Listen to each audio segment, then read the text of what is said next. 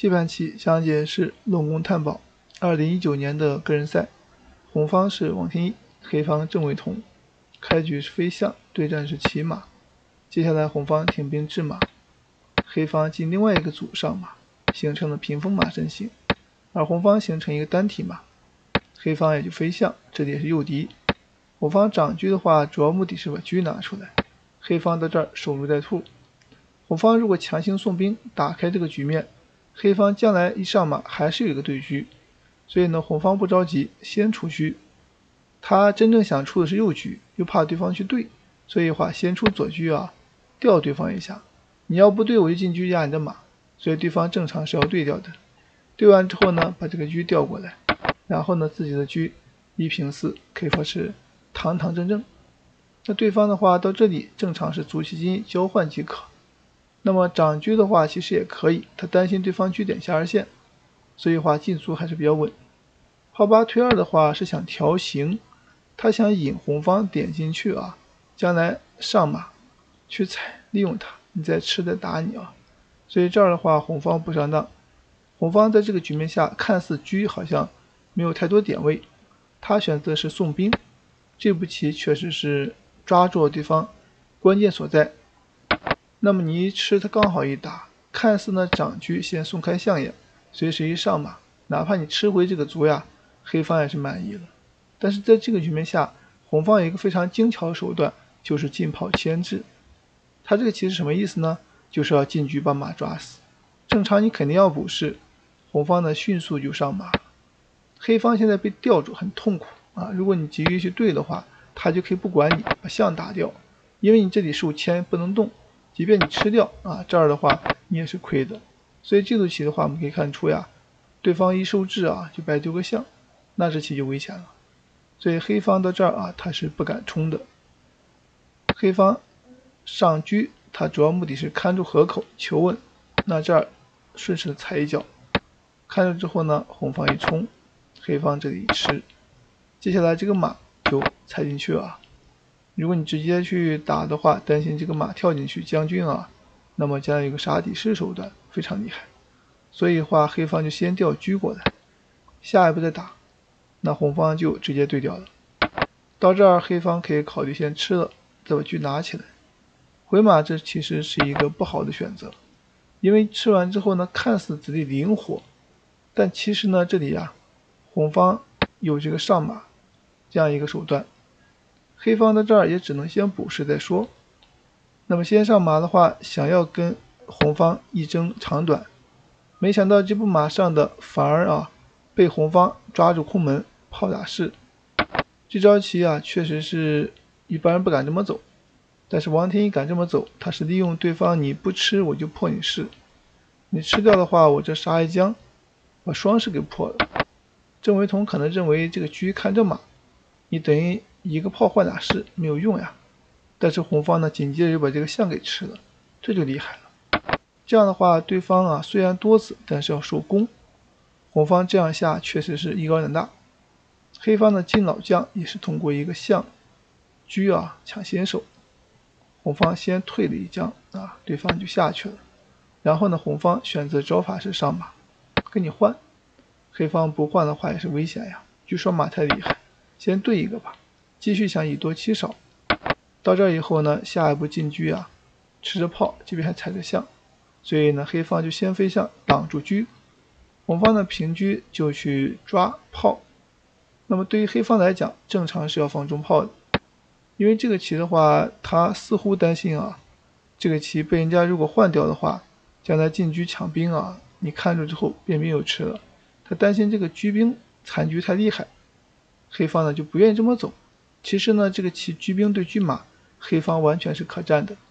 但是呢，这个棋由于缺失象，他不愿意走的这么消极啊，就炮二平四，试图呢找机会点下来，有一个穿江分边啊下底线这么一个偷袭手段，想急于跟红方对杀。但是呢，红方这时候点车啊，先杀中卒，正中黑方要害。这个车马等招一杀进去，你这边是很难抵挡的啊！你想想这个点炮下来。点将往过甩，根本来不及啊！杀一将你过来一将就吃掉你了，那你也只能往左边出。那么红方可以平车啊，有一步呢吃炮叫杀。这里黑方肯定是点将啊，杀一将之后再退一将，看住自己的炮不丢。将来这里点将叫杀还有吃马，黑方肯定想以多欺少。那么这儿的话，红方如果换掉，形成了车兵对车炮，仍然是红方有利。但是呢，这个棋红方也可以不换，有跳将的手段啊，再跳将，最终的话过兵。这样的话，车马兵赢的胜算更大。所以黑方到这儿呀，确实痛苦。那追这样一个棋的话，肯定不是对方愿意见到的。所以话追这个棋，那他选择先上马，也是中规中矩的招法。但是呢，你走了个视角炮，接下来就被红方抓住弱点啊，进车牵住了。你要再放中炮直接踩掉你们，象一破，那这棋更厉害。所以呢，黑方只能平车过来防守。这样的话，这三个子被一个子所牵，红方的回马就利用它。你敢顶着吃，我就吃你两个子。那这样你没吃象更不行。所以对方痛苦呀，他就退一步看着中卒，红方小兵过河，黑方就退回啊。这儿的话是想找机会脱身。红方的话，兵五进一这步棋呢，也是一个限制对方卒五进一的招法，这样你的车就不畅通。然后的话，黑方赶紧上马，试图把兵踩掉，找机会反击。红方兵三平四就不让，黑方这棋马上不来憋屈啊，到这儿又退回了。接下来这棋呢，红方就马四进二往上冲，黑方的话进车就想来一个吃掉兵啊，追杀红方的马。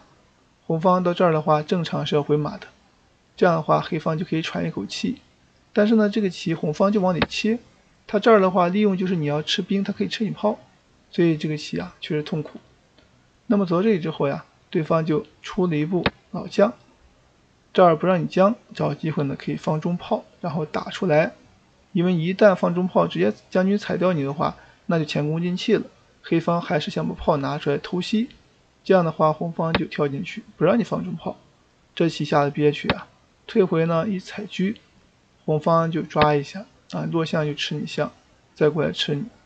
对方呢又踩了一脚，双方在这儿循环了一下，但是由于规则问题啊，不能长桌子。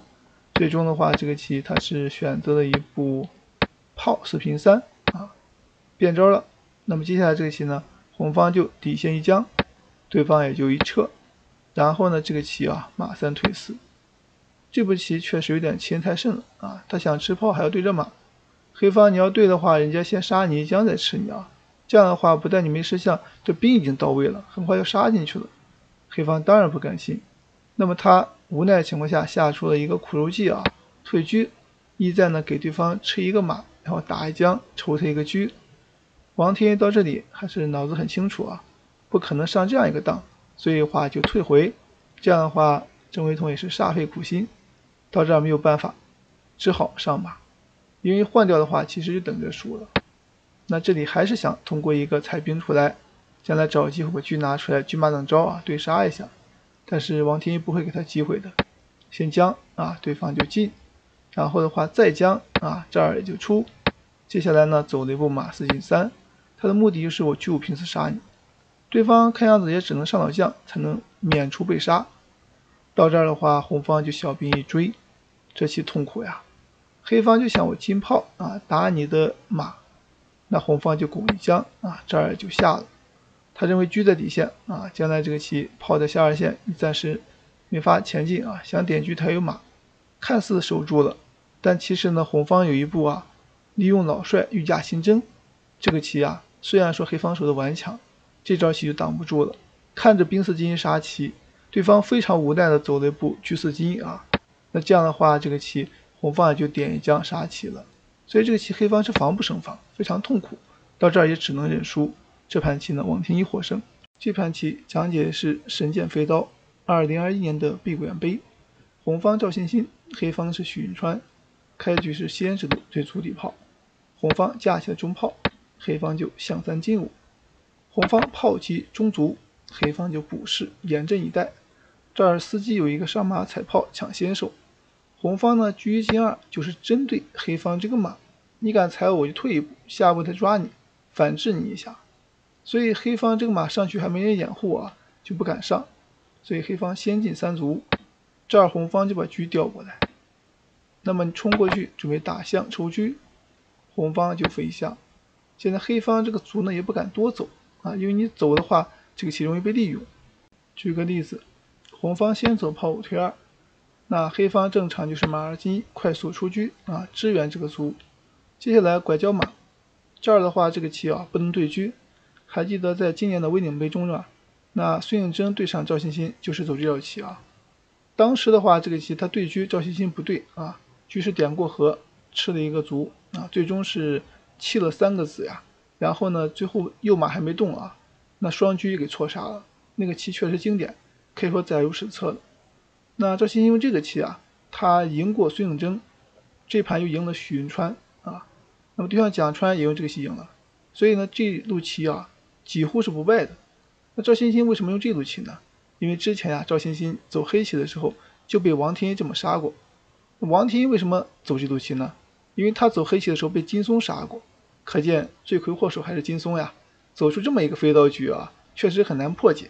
我们看一下吧，这儿的话这个棋啊，现在啊眼看要出车了，那么这儿你还不能对啊，你对的话他把卒给吃了，将来这边太空虚，所以你只能走车一平二。那么这儿红方就出车准备封锁你，黑方肯定是不让的，红方就对，对完之后这边就空，那这个棋将来也是啊左车来不及救援，这里就比较危险。如果吃的话纠缠，那这棋啊也是不利。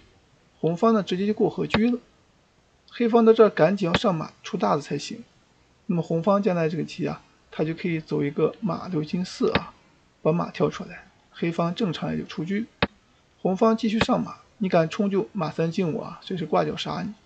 黑方赶紧平炮，试图把车拿到河口，这儿吃了对方马抢先手，但是呢，人家可以车六进三啊，这路棋太狠了。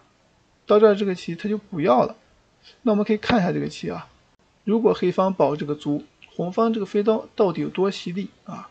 首先给你马和炮吃，你不管吃马还是吃炮，那都是一样的，双车一线杀你，你只能担子炮解围，顺势一上马，下一步硬踩炮杀棋。你要走向硬吃炮，你要走炮的话，这就踩死了，这铁门双啊，所以这个棋太狠了。我们可以很明显感觉到这个棋啊，就这四个子就杀你了。你吃炮和吃马结果是一样，根本就守不住，可见这个棋啊有多凶狠。那么这儿即便你选择退回啊，进行一步对车解围，那红方毫不犹豫就对掉你。这儿你一吃啊，直接打出来，你想吃马还没机会，提前杀棋。那么这里一话用炮去挡，人家这个马就上，将来踩炮一将你一吃点死。这儿还得出啊，出的话这个棋就拍你一将。这儿颠炮之后炮退一，这个马还是不能吃啊。这棋局太狠了，这个棋啊，你要是炮打，这个炮拍一将，那你不管进还是走炮，它都是马后炮啊。这个棋确实很凶，即便你不吃马也不行了。你车八进一解围，他这边呢可以车退一步继续贯彻杀招啊，也可以简明吃掉士去吃，同样道理啊，将军垫上，这样会被吃光。所以这组棋啊，我们可以看到飞刀有多犀利了。可见呢，在这个局面下，黑方是万万不能去保这个卒的。这儿的话选择进七卒，准备呢把他炮赶走，红方就先走一步，他的目的是为了控制啊卒阴线，因为黑方这个棋本来是打算进边卒抓他的，但是你现在进卒的话，对方就会点进来，这个棋就是赵欣欣对孙颖珍之战啊，所以的话这个棋啊，黑方许云川也就上马，这儿的话这个棋他随时可以点，他不着急啊，先跳拐角马，开出左边的大子。这儿的话，黑方就出车，红方正常上马，黑方可以炮八进二，但是这样可能会被红方过个兵啊，就显得示弱一点。不过也可以下，将来车八进三赶红过掉啊。那马七进六的话，这个棋是想有所作为，这儿红方就点进来了。那么黑方的平炮，这里是一步示弱的招法，正常是要赶快上马，出车把车对掉啊，减轻压力。你不对我就吃你的马。平炮的话。给了红方一个金炮，打马先手，那你就有踩掉。打完之后呢，这边盯着闷攻啊，这儿有一个平车吃车啊，这个车再进去就委屈了，他不愿意啊，飞象去抓，那这儿就退一步。正常赶紧上马，还是要贯彻出车队啊。炮三平一看似呢是为了调形，但是速度毕竟太慢，这个马一踩卒上来卧槽太厉害了，所以你阵型好也是等着挨打呀，所以呢没有用啊，他只能先闪。闪的话，这个车一出底线叫杀，黑方就不得不上马了。红方的平车吃炮，你要是敢打，他吃回去，这边抓一个马，这边抓一个马，那自然是要失子的。所以话，黑方也是无奈，就避开了。红方的话，上马踩卒得失不饶人呀，那这个卒肯定不能丢，出车看住。接下来呢，红方又是一个车三平一吃象，这象一丢，车不敢动，否则底下闷杀。所以一旦象一丢，这个车就受到拖累，正常还得落象。那么车一平四啊，他这边又吃炮，你炮平一步，他就抓你的车，平两步就牵住你。平边的话，这个棋也是委屈，红方可以平车打象，非常凶狠。黑方只能出老将，红方的进车摁住，黑方没有子力可用啊。假如说你想长车跟着炮，他瞬间来一招呀，神龙摆尾，硬是打象抽车啊，太狠了。即便你象掉炮也没用，他拍你一将，那么这时候你只能直视了，否则你进去打死。将一来的话，他就打一将啊，这样的话就会把你这个车吃掉。等你去吃的时候呢，点一将上来之后呢，他也不吃马，将来就掉车杀你啊。这个棋呢非常凶狠啊。这儿你还得去拦，那么这样的话，这个棋啊，红方再吃掉黑方的马，黑方如果进车吃马对杀，根本来不及。红方马六进五，会有一个马五进七杀棋，如果电炮双击错，那如果弱势想逃跑的话，也来不及。这儿的话，他就退车一将，然后呢八角马杀你，就问你吃不吃吧。你一吃双击错，你不吃就只能落象，然后他退车呢，继续呢砍士杀你。到这儿你上去砍一将，上去拍死，进去的话点死，那这棋进不去，只能落象。认为呢炮可以看士，但是他这个棋进车或者是平车啊，就杀你象，这个象是跑不了的。看着八角马杀棋啊，无解，所以这棋啊真够狠的。黑方到这里想走炮又不敢走，那么他选择的招法就是回马形成担子炮，这样似乎顽强一点。那这样的话，人家一抓马也是痛苦。你要平炮。拍一将啊，吃掉你，这样还是等着输。所以许云川临场的话不想丢这个象，就点车呢顽强作战。结果呢，对方炮平三，仍然是神龙摆尾。这招奇妙呀，把马给抓死了。黑方这棋你想看还不能看，直接双线就杀棋。所以这个棋啊太狠了。许云川到这里啊，他选择一步飞象顽强一下，结果人家车四平三，强行吃掉。你要吃炮，这炮可以躲。所以这样的话，以言得子。那走到这里，许云川一看，已经是啊大局已定了，没办法逃了。所以这盘棋啊，走下去到最后还是要输棋，就直接认输了。这盘棋赵欣欣获胜。这盘棋讲解是命中克星，一九六一年的名手邀请赛，红方是蔡福如，徐云川的师傅。那么蔡福如呢是何书安的克星，那么他的徒弟徐云川又是何书安徒弟胡荣华的克星，可以说这。师徒之间相互克制，太厉害了。我们看一下吧。开局是中炮对战屏风马阵型。上回说到蔡福如擅长五七炮啊，那么这盘棋呢并没有走五七炮，为什么呢？因为对方走的是屏风马阵型，你在五七炮，它可以巡河炮，将来你不但兵过不去，而且你这个车也过不了河，这个马还不活，所以呢这个棋啊其实很难开展。红方决定上马对杀，黑方没敢炮二进四对杀。而是飞象，这也是一个稳健的招法。那你稳我也稳吧，准备呢挺兵活马。黑方一看那不行，我冲个卒啊，跟你换，就是不让你去对。你要上马的话，他可能不是抓你，所以呢还容易被对方利用。红方就先平炮，那么对方落象，这儿出车。现在红方牵住了黑方，红方走过河车啊，黑方进炮的话，炮去这样压住没用，所以黑方就上马，准备进卒反击。红方呢直接打掉，谋取了实惠。所以这样的棋的话，它是有一个车骑河啊，抓对方的马。黑方赶紧就先抓炮，红方飞象之后车到河口看住。这样来的话，红方就具有平二。这里有一个骗招，就是引对方过卒。黑方呢不敢过，原因在于呢你一过他牵住你，你虽然可以吃马，人家可以退。到这儿的话，你这个棋啊，正常也就平卒，准备小卒过来啊，拱士一将偷车。那么双方争论焦点应该是在四路线啊，红方四路线和黑方六路线。所以呢，红方先来一将，正常你要补右士的话，他就点车过去。这儿你看似小卒一下，就差这一步棋啊，想吃马或者拱士一将偷袭啊，骗红方的车吃。红方抢先过来，黑方慢一步棋，只能跟他拼了。红方简单一吃叫杀，非吃不可。换之后呢，狮子非换不可。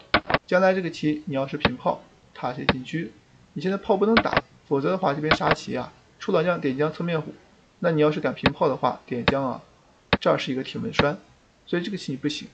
那么走到这儿之后呢，这个棋啊，我们可以看到很明显啊，你不能炮打出来，你只能走车，这样的话他只管扫你的卒，将来啊会有一个多兵之势，而且兵种好，很明显红方占优。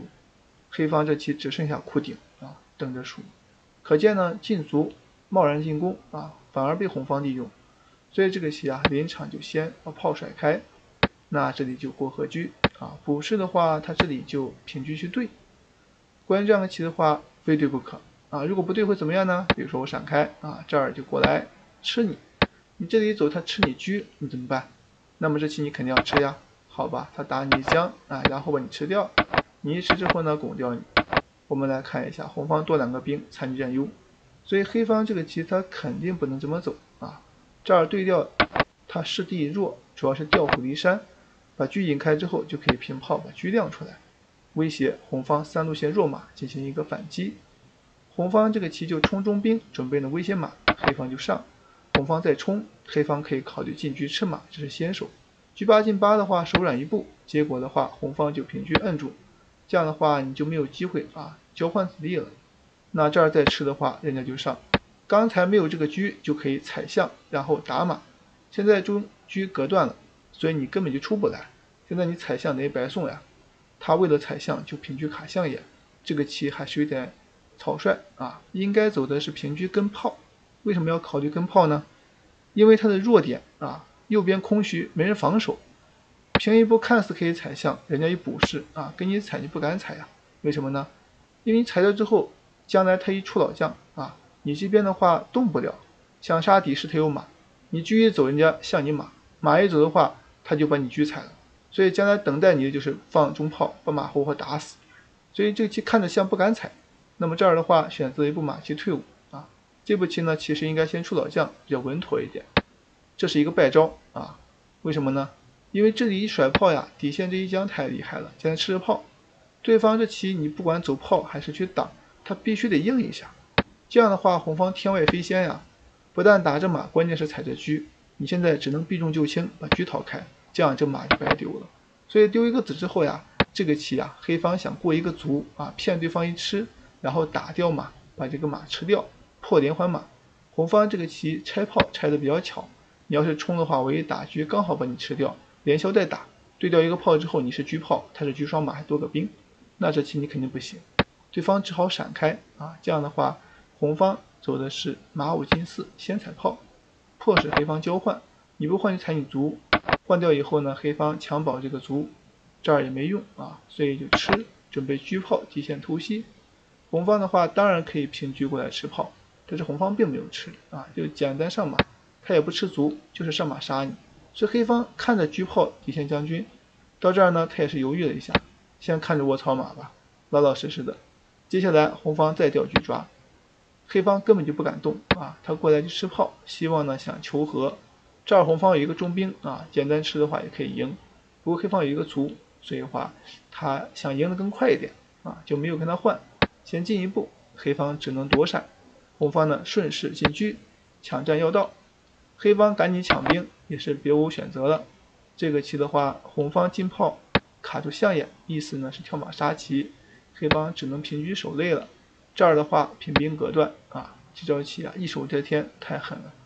黑方只能平过来，红方这儿没有象，要有个象的话，对方可能要吐血呀。到这儿这个棋啊，他选择的是平车，先抓一步看看。对方一闪啊，这里炮的平七，这个棋也狠呀。到这儿继续抓啊。那黑方这个棋也不敢动啊，那眼看着你一动就跳一将，肯定是啊受不了。对方这个棋他的意思有可能就是想一车换双，哎，你现在车兵他换完之后呢，有一个炮摄像权，刚好能够巧合，所以红方迟迟没敢打将啊，就担心一车换双。到这儿之后呢，就退回啊，准备去盯住马吧。那红方这棋就平车过，黑方的话你盯住，红方这棋就兵四平三。这步棋你不能象，因为底下闷攻啊。到这儿，这个兵把马一开啊，车就解放了。到这儿，他就进炮啊，下兵。现在这个棋车炮，你一个炮肯定守不住啊，对方顽强。这里的话就平车盯住。到这儿，对方再闪啊，这边走的是点车卡象眼，非有杀棋就落士啊，因为你出去的话，穿一将相破了。到这以后呢，这个棋炮一将只能补士，这一出老帅就要杀棋。那么追将棋，对方也不敢说是平炮到这里，因为你要平炮的话，其实就没子动了。他这个棋有一个狠招啊，这个狠招就是他一推炮放中炮铁门栓，所以这个棋啊确实痛苦呀。你这一走，他拍你一将，就问你怎么下吧。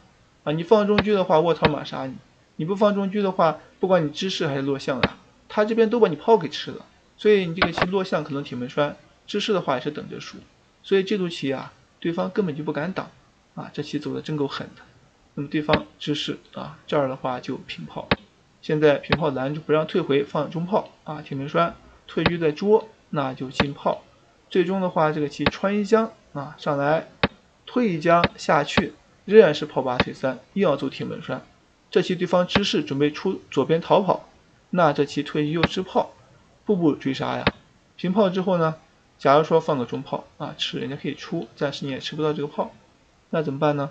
红方炮八退二，准备呢把这个卒打掉，还要打车。黑方不甘心呀，肯定得冲。红方这个棋就落象，眼看着这个棋一打车啊，你车一走，过朝一将就杀你了。所以黑方实在是守不住了，到这儿只能认输。这盘棋，财富入获胜。